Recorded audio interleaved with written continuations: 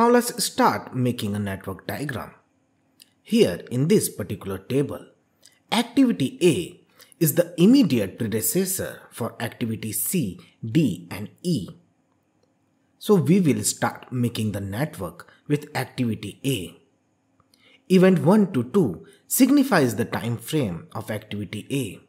Now from event number 2, let's branch out or create a burst event involving activity C, D and E.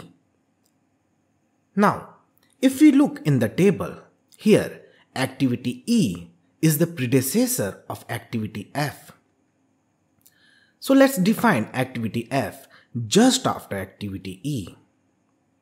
By looking again in the table, we find out that activity D and F are the predecessor of activity G. And we have already defined activity D and F in the network diagram. So activity D, whose start event was at event 2, and activity F, whose start event, which was at event 4, will have a common end event at event number 5, from which activity G can now proceed. Following the same procedure for rest of the table, we can now have all the corresponding activities and events in the network. So this is how our final network will come out.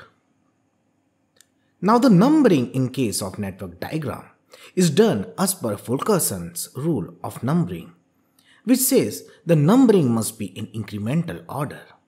That means for a particular activity, start event numbering must be lesser than end event numbering.